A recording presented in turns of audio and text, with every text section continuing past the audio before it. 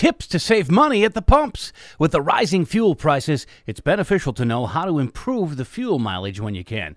The most important thing that you can do is to go to regular maintenance. This helps because we can look at parts and components of your vehicle and help ensure that they're working as efficiently as possible. Also, make sure to drive at the posted speed limit. This can help save on fuel costs as well. Speeding will only result in more wasted fuel than what is needed. It can also increase the chance for a speeding ticket or accident. Another way to help reduce wasted fuel is to try and not have a jackrabbit start. This can also increase the chance for other parts on the vehicle to wear out sooner than they normally would. Make sure to fill up with the correct fuel. When filling up your fuel tank, make sure that you put the right kind of fuel in the vehicle. There are three different prices for three different types of gas, and these prices vary significantly. The reason for this is due to the octane of the gas you put in your vehicle.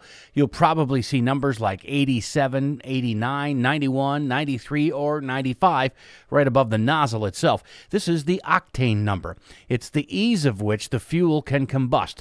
The higher the octane number, number, the easier it is for the fuel to combust. This can help with your gas mileage as it requires the engine to need less fuel to get up to or maintain speed. Now, if you're not sure what fuel would be right for your vehicle, make sure to contact us. We can help recommend the right type of fuel for you. Check the air pressure on the tires. After you fill up at the pump, also make sure to check the tires so that they have the proper amount of air pressure in them. It's important that the tires are at the right air pressure that's needed for them. If the tires are underinflated, they grip the road too much, and your engine needs to work harder to maintain that grip. When the tires are filled to the proper PSI, pounds per square inch, the engine can take a bit of a break. You can find the proper PSI along the inside of the driver's door. It can also be found in the vehicle's owner's manual.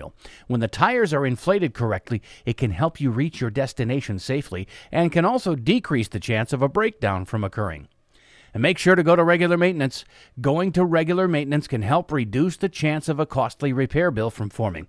That's because an issue that might be starting to form can be repaired before it becomes a large issue. This can also help prevent the chance of an unexpected breakdown. Regular maintenance can also help to improve the fuel efficiency of your vehicle.